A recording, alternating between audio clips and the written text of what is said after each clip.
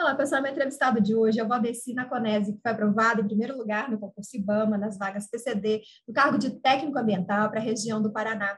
Valdeci, quero agradecer a sua disponibilidade de dar essa entrevista, uma entrevista que demorou um pouquinho a mais para acontecer, né, devido aí ao recurso que você teve que fazer na discursiva, mas a gente vai conversar um pouco mais sobre isso.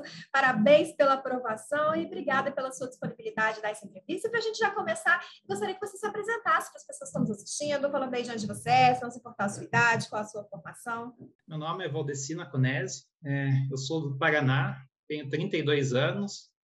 A minha formação é técnico em mecânica, né? agora estou cursando processos gerenciais, digamos, mudei de foco por causa da minha deficiência, e agora eu estou, digamos, mudando de área, porque a, a, a antiga profissão não, não consigo mais exercer. E de onde vem a vontade de fazer concurso público, né?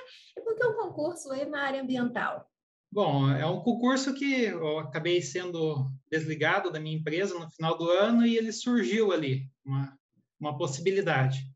Daí eu acabei me inscrevendo, eu gostei da as, os requisitos ali cabiam dentro do que eu posso fazer, então eu me inscrevi e deu certo. A, assim, ó, a questão de o apoio foi minha esposa. Minha esposa é servidora. Então, uhum. ela, no meu caso, que eu virei deficiente, eu estava tendo muita dificuldade, uma cobrança a mais no, no privado. Tipo, eu tinha que mostrar mais que as pessoas normais. Então, eu não estava me sentindo confortável. Estava tipo, a minha mente estava cansando muito, tipo, mentalmente estava esgotado. Daí aconteceu tudo isso e eu me dediquei e acabei passando. Passei até no geral, que eu nem esperava.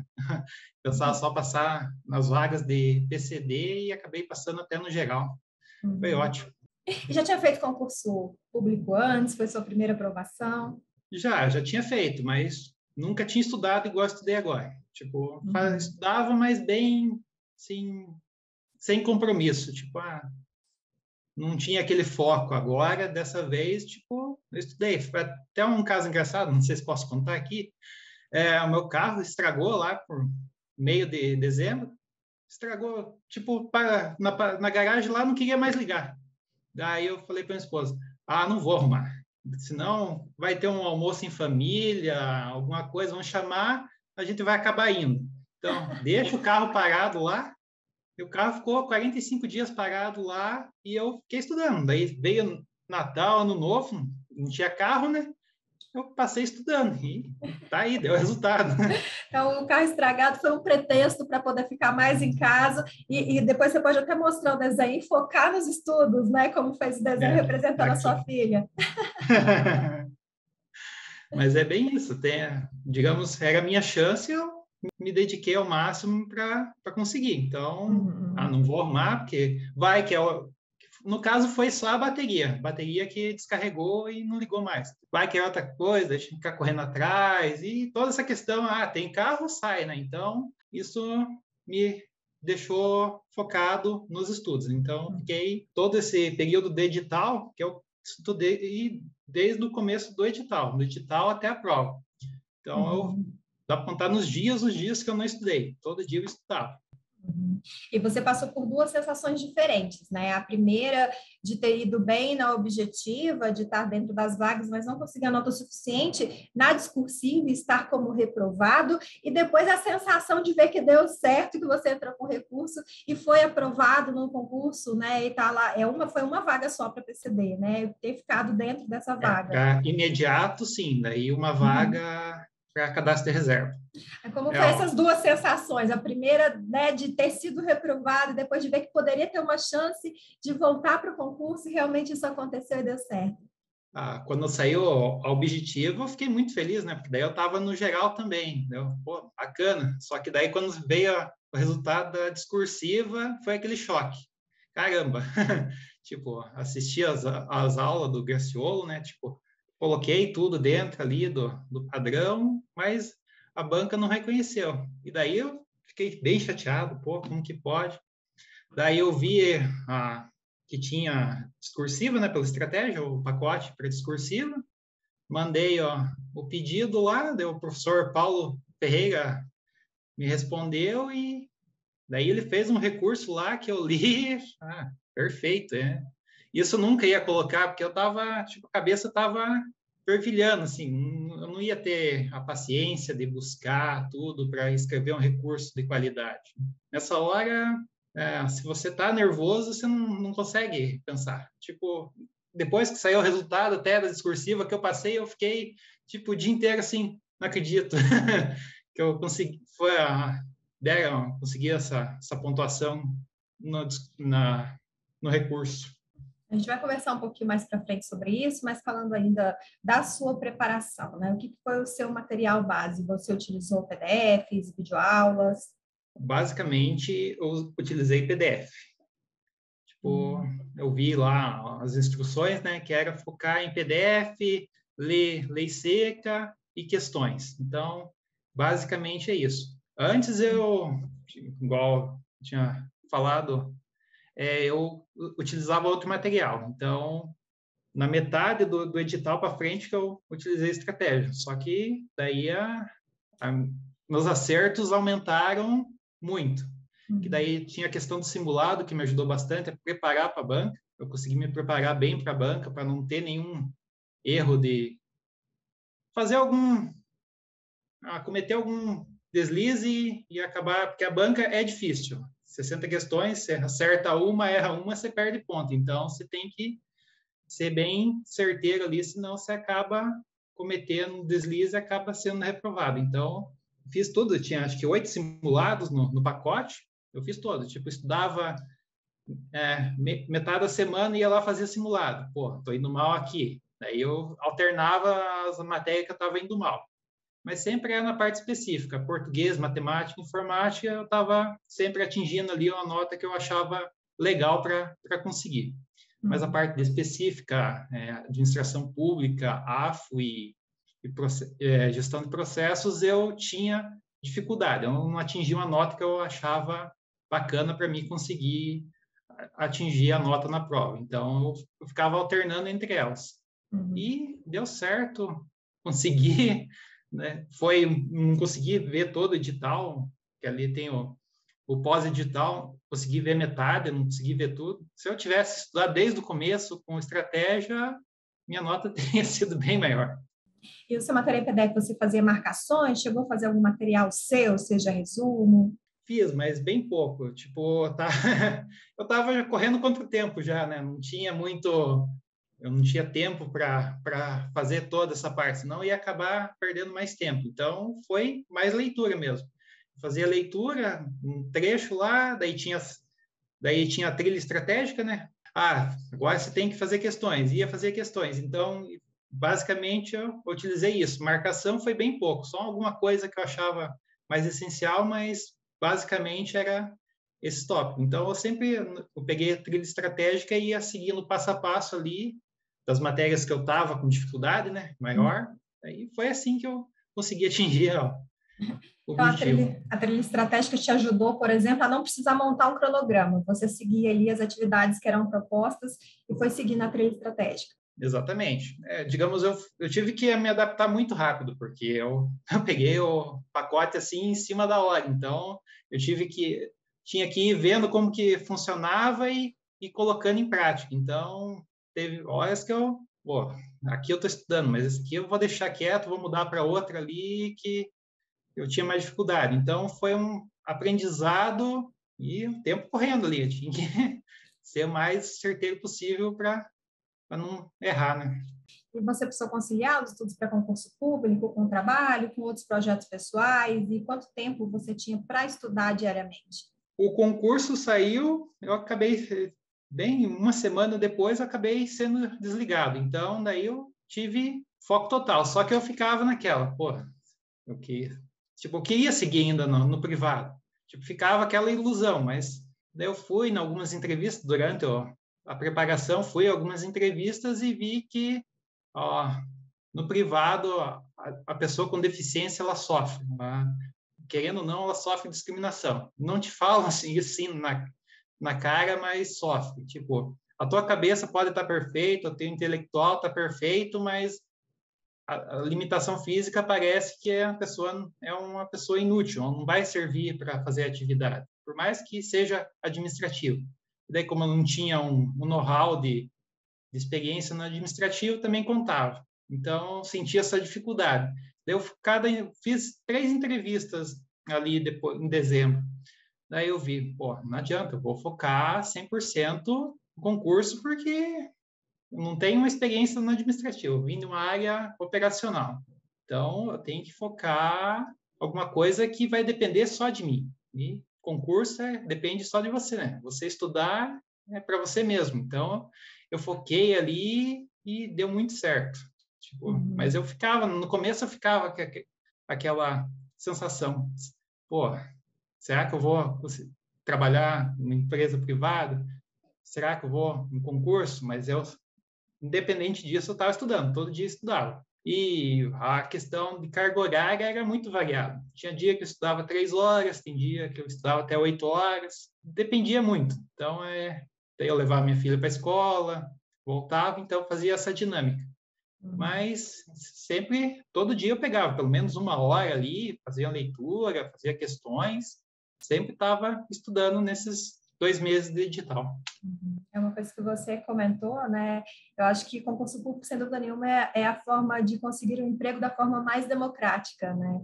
É, a gente sabe que no mercado privado, óbvio, né, que não é em todo lugar, mas sempre há, sim, né, essa questão de a vaga está ali, é preenchida por indicação, se é uma vaga em que você vai se expor, é olhado, sim, a aparência física, né? Então, realmente, assim, eu acho que, de forma geral, o meio privado, ele tem sim né, as suas, suas dificuldades de você iniciar dentro de uma empresa, porque por vários fatores, né, independente de deficiência, eu acho que sem dúvida nenhuma o, a, a, o serviço público é a forma mais democrática, né? Onde ali não é levado em consideração cor, altura, altura em caso aí só de concurso público cara para área militar, que aí precisa sim ter pelo menos o um mínimo ali, mas não é levado em consideração outros fatores, senão o seu conhecimento, né? Que pode ser testado de várias formas, através de prova objetiva, pra, através de prova discursiva, né? E para outros concursos precisa de uma seleção devido ao trabalho em si, vai ter TAF, vai ter outras partes da seleção também. Mas e sua preparação para a prova discursiva? Como que foi? Você no simulado você fazia também redações? Fazia. É, daí a minha esposa lia, gostava. Um erro que eu cometi durante a minha preparação é em casa você tem folha disponível à vontade, né? Você pode fazer, escrever ali tranquilo. E na prova você é bem limitado. Digamos, eles dão lá um rascunho e no caso você tem que utilizar o verso, alguma coisa assim. Só que daí você acaba perdendo muito tempo. Essa dificuldade que eu senti na hora da prova. Tipo, aqui eu, em casa treinava livre, escrevia, cerrava, arrumava, mas né, lá na prova eu senti essa dificuldade, ter a limitação do física do papel. Só tem basicamente uma folha e verso. Só que se for transcrever no rascunho e verso, você acaba perdendo muito tempo. Então, eu sofri bastante dificuldade nisso. Questão da, da redação, eu sempre, sempre fui na média. Nos outros, antes que eu fazia é, Enem, mas já faz um tempinho, tipo, eu sempre atingia ali 70%, então 60%. Eu ia bem. Escrever até não é, não é dificuldade, só que, tipo, eu me preparei de uma forma e fui lá outra. Então, não tinha aquela de arrumar. Depois que você vai ler, chega em casa, pô, mas eu cometi um errinho aqui que não podia ter cometido. Então, essas coisas que acabaram pecando quesito de erro, mas a redação em si ela ficou muito boa. Eu gostei, né? No caso, eu tive que ir ao recurso porque a banca não acabou dando uma nota inferior. Falando agora sobre o recurso, né? Há mais ou menos uns três, quatro meses atrás, eu fiz uma participei de uma de uma transmissão em que uma aluna nossa também tinha sido reprovada porque não tinha alcançado a nota mínima na objetiva, entrou com recurso, conseguiu a nota e aí passou em primeiro lugar também para o concurso que só tinha uma vaga, que era um concurso aqui para o DF, uma área específica, acho que de contabilidade, se eu não me engano. E nessa conversa com os professores dessa área, eles comentaram que só não vale entrar com recurso quando você tem a nota máxima, que aí não tem jeito. Porém, isso sempre vale recurso, é, não só para quem não atingiu né, a nota mínima, mas também para quem tem essa possibilidade de aumentar um pouquinho as notas, ou até mesmo para você lhe garantir que quem entrar com recurso e estiver atrás de você, não vai te ultrapassar. Óbvio que você entrar com recurso não quer dizer que você vai conseguir ter a sua nota, é, aumentar a sua nota, mas eu tenho uma boa notícia, gente. Não existe casos de pessoas que entraram com recurso e a nota caiu. Então, o máximo que vai acontecer é você continuar aí com a sua nota. No caso do Valdeci, né, ele procurou estratégia concursos para ajudá-lo é, a montar esse recurso, por uma questão de necessidade mesmo, de precisar muito das notas, mas o recurso é uma fase opcional né? Mas que você não precisa né, de um serviço para isso. Você mesmo pode montar o seu recurso e sempre vale para pelo menos aí, no mínimo, manter a sua nota ou garantir os pontinhos a mais para garantir que você não vai cair posições. Mas no seu caso, Wanda, se você comentou que viu a redação, viu que estava boa e buscou o recurso porque você realmente acreditava né, que poderia melhorar a sua nota. É, exatamente. No, no começo eu ficava, pô, mas eu, eu lia lá, ó, a, a, resposta que eles dão, né? Mas está dentro do que eles pediram, não está diferente. Como que pode uma nota assim? Só que você fica, pô, né? o que, o que será que o que, o, qual o quesito que eles contam, né? Como que eles, eles fazem essa avaliação? Daí eu procurei a estratégia, mandei, daí tinha lá se se tivesse a possibilidade de recurso, eles fariam, né? Ou se não uhum. tivesse, eles devolveriam o dinheiro. Daí eu fiquei, pô, será que vai estar tão ruim que eles vão não vai ter a chance de recurso? Da... Mas daí o professor, não, manda aqui, é, datilografa o... a redação lá, né? E fazer recurso. Daí eu, daí eu fiquei mais tranquilo. eu... E qual tinha sido a sua nota e para quanto foi? A minha nota tinha sido 11,27 e foi para 17,59. Uhum. Você precisava, então, para não ser reprovado do concurso, ficar com pelo menos 15, é isso? Não, ficar com 12. Com 12. Então estava na tábua da beirada mesmo e conseguiu bem uma nota bem É 0,73 assim, que precisava. E eu acabei uhum. conseguindo 6,32. Então foi, uhum. foi ótimo. Mas, tipo, aquela sensação que, pô, caramba. o que, que eu estou fazendo tão errado assim? Só que na hora você recebe ali e é um prazo curto, né? São dois dias, nem dá dois dias. Então é um prazo muito curto e você fica naquela. Você nem sabe. Você lê ali, mas você fica. Você não tem a prática também. Eu, no caso, não tinha prática para fazer um, um recurso por conta. Então, uhum. eu vi a estratégia lá. Ah, vamos vamos fazer. Daí minha esposa não faz porque tua redação não tá tão ruim assim, tem lógica, né? Tá dentro dos quesitos lá, então fiz o pedido, daí até o professor responder, fica aquela agonia, né? Porque o prazo é curto ali. daí ele respondeu que precisava, ó, digitado a redação, e ele fez, e depois eu li o recurso, nossa, eu nunca ia pensar né, em todas as informações ali que ele colocou para conseguir esses pontos sem dúvida nenhuma, prática que os professores têm, né? Assim, porque não, não basta você saber o que pode melhorar, você tem que saber como colocar isso num papel, como repassar isso a ponto de convencer a banca de que é preciso mudar a sua nota, né? Não dá para é, escrever de qualquer jeito, porque se a banca não entendeu o que você quer, não vai ter pontuação ali. Então, eu acho que isso que é o diferencial. Né? Os professores já têm essa é, prática, já sabem como escrever, o que, que a banca quer ouvir, como ela vai entender aquilo que você está pedindo, para que de fato seja analisado e tendo a possibilidade né, de, de, de melhora, eles vão aumentar a nota. Mas tem que lembrar isso, né? Que assim, a banca não é obrigada a subir a sua nota. Se ela bater o pé e falar que é aquilo, vai ser aquilo e ponto, né? Exatamente. Mas é quando eu recebi o recurso, até achei bastante longo, né? Porque eu vi alguns vídeos que o pessoal falava que tinha que ser muito objetivo, daí, nossa, tá a, daí o recurso, digamos, tem a parte ali toda da, é, das informações, né? Mas, ó, digamos, o, eu fiz o recurso para toda a, a, redação, tipo, os três quesitos da, da prova foi, foi feito recurso. Então, foram recursos, digamos, um pouquinho mais com bastante conteúdo. Então, eu fiquei, pô, é bastante coisa. Será que o pessoal lá não vai não vai querer ler, mas confiei, mudei, fiz algumas alterações para colocar da minha forma, né? E, e, mandei, mas graças a Deus deu tudo certo.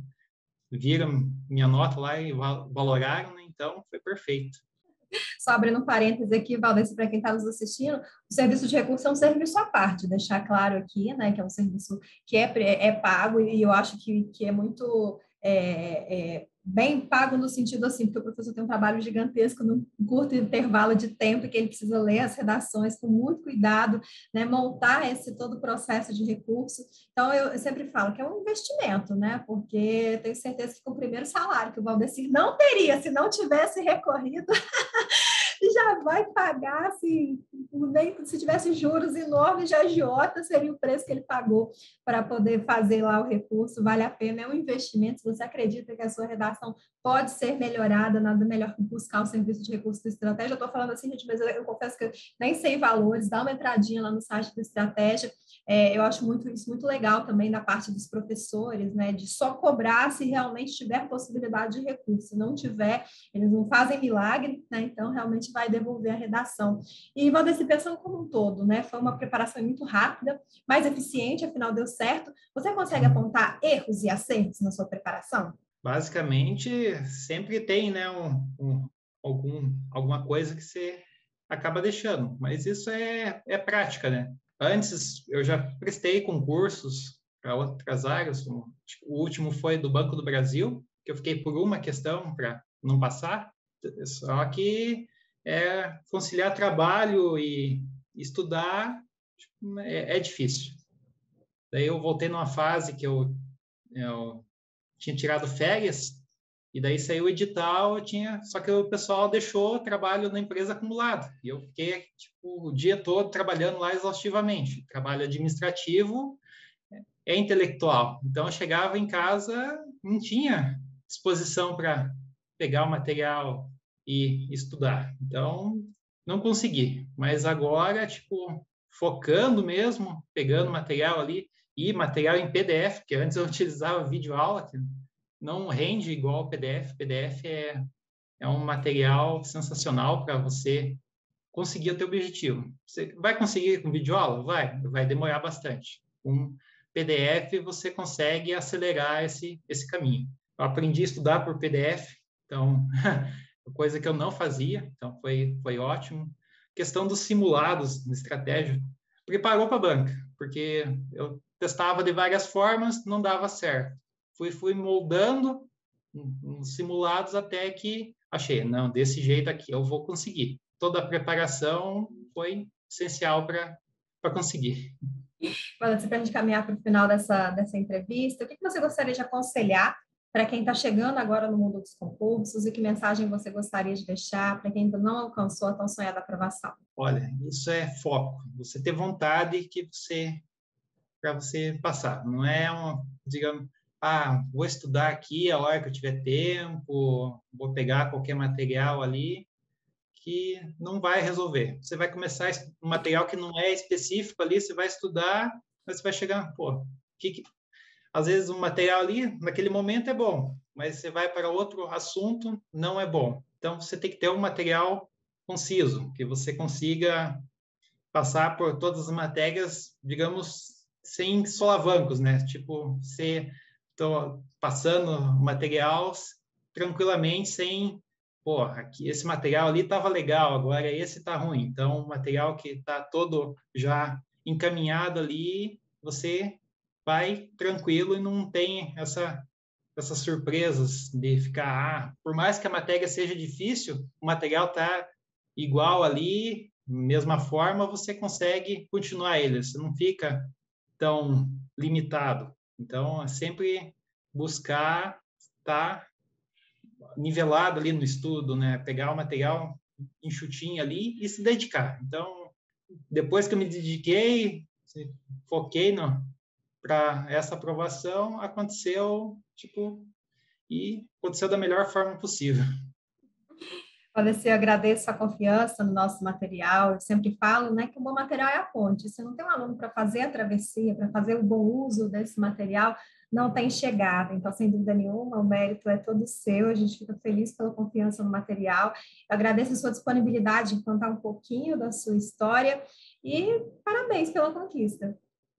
Muito obrigado. É, sempre tem que acreditar, né? Eu passei por muita coisa, então ainda mais agora, não. Eu já passei por tanta coisa, vamos seguir em frente, vamos buscar que tem coisa melhor ainda para mim aqui. Então, e graças a Deus deu certo e que seja só um passo para mais conquistas. Se vier mais conquistas, que eu tenho certeza que virão, ó, que venham mais entrevistas também. Com certeza. Obrigada mais uma vez, Vanessa, para você que está nos assistindo, você já sabe, quiser conferir outras entrevistas, também ficar por dentro de tudo que está acontecendo no mundo dos concursos, é só acessar nosso site, estratégiaconcursos.com.br. Um grande abraço e até a próxima. Tchau, tchau.